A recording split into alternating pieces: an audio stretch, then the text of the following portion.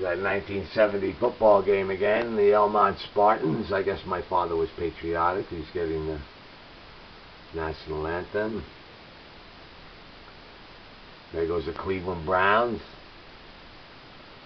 We must have beat them, huh?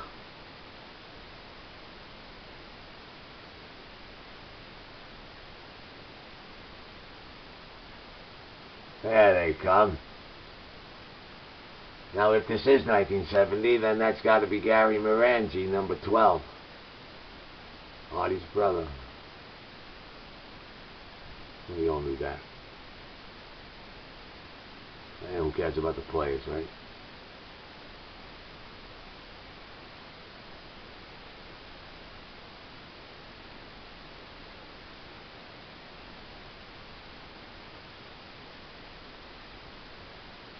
We have a mascot? Who was our mascot?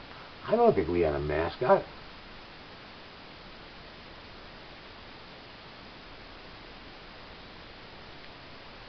Woohoo!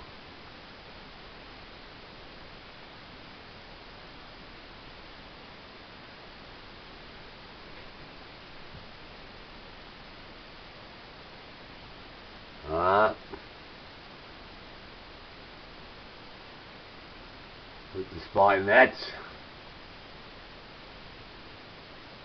Where's Kathy Gentile, Joe?